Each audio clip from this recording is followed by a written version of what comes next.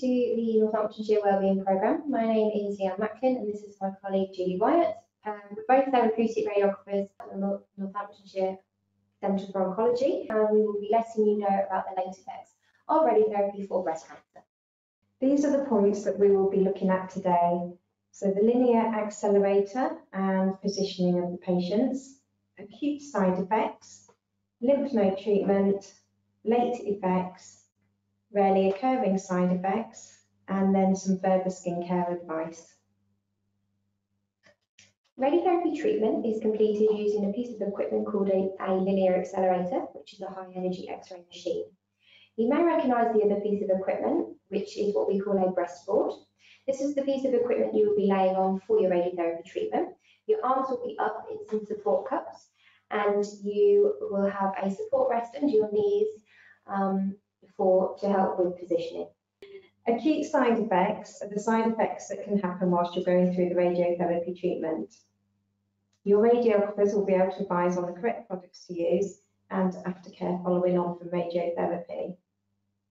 So you may find that your skin gets a bit sore whilst you're having your treatment. It can go a bit red, a bit sore and a bit itchy, um, a little bit like sunburn. You can use non-perfumed creams two to three times a day um, and be gentle with your skin when you're showering and pat dry rather than rubbing dry after your shower and maybe avoid irritable clothing fibres. You may find you are more tired than normal and for this hydration is the key.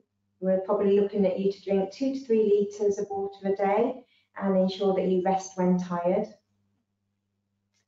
You may find that your breast um, swells. It may change in shape, it may change in size. Um, it might be better to swap to non-underwire bras, maybe sports bras, um, whilst you're having this treatment. And for large breasted ladies, you may find that the skin fold under the breast is an area that can get quite sore. Radiographers can arrange for dressings and wound gels if the skin blisters or breakdown develops. Um, there's also around the axilla and the clavicle can also get sore and can be areas of skin blistering and breakdown also. Um, less common of the side effects is a dry cough and that's in less than 1% of people and maybe even a shortness of breath. Um, lymph node treatment, which includes treatment to the supraclavicular fossa, which is um, around collarbone, axilla, which is the armpit, and sternal nodes, which are the nodes which run along the um, breastbone. Um, uh, you may experience some shoulder stiffness, so to improve your symptoms, post-surgical exercises can help as well as pain relief. Swelling of the arm or hand, which is a condition known as lymphedema. Um, there can be a less than 1% risk of damage to the nerves in the arm, um, which is a condition called brachial, brachial plexus neuropathy, which would require physio and treatment with routine pain relief. And when we treat the nodes around the breastbone, it can cause some discomfort on swallowing. Medications for pain and discomfort will be arranged for you prior to your treatment. So just an overview of the late effects. Um, these are side effects that can develop months or even years after the end of your radiotherapy treatment. However, with improvements with the equipment and the accuracy in marking the exact areas to be treated, many of these side effects are much less common now.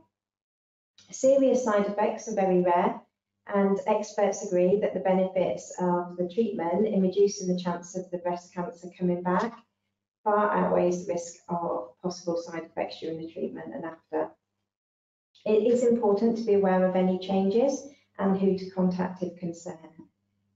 These would include your breast care nurses, your GP, radiographers, or Macmillan support. So late effects include a change in your breast shape, so it may feel harder or firmer. And this is a condition known as fibrosis and is caused by a buildup of scar tissue. There could be a change in the appearance of your skin, so um, the tone may be slightly darker.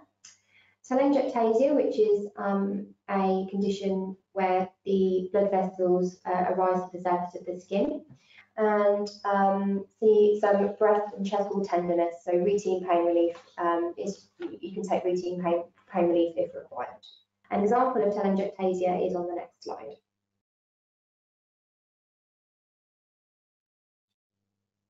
There are rarely occurring side effects that can happen with radiotherapy treatment.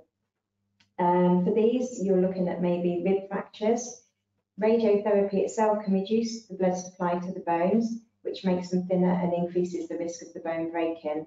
There is also a less than 1% chance of scarring of the, of the lung. This is known as fibrosis, which is hardening and thickening of the tissue, causing breathlessness months or years after the treatment. There is a small risk of cancer, less than 0.01% of people um, due to radiation. And for those patients that we've treated their left side, um, there is a risk of small damage to the heart muscle or to the major blood vessels around the heart. Uh, be aware of physical changes in the future, such as shortening of breath. There is a technique called DIBH or DI, deep inspirational breath holding, um, that we use whilst you're having your radiotherapy treatment that can reduce the risk of damage to the heart. If you feel you've developed any of these side effects, please contact your breast care nurse or your GP as soon as possible.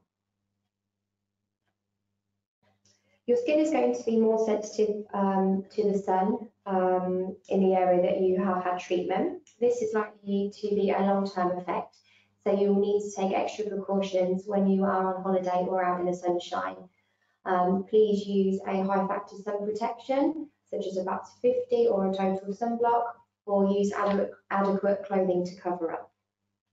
Lymphedema is a chronic condition. It develops when the lymphatic system does not work properly. The lymphatic system is a network of channels and glands throughout the body that helps fight infection and removes excess fluid. Treatments that help manage lymphedema include wearing compression garments, taking good care of your skin, moving and exercising regularly, having a healthy diet and lifestyle, and using specialized massage techniques. If you are concerned that you have developed lymphedema, please contact your breast care nurse who can refer you on to a specialist if needed. Thank you for watching and here are some useful um, contact details for you.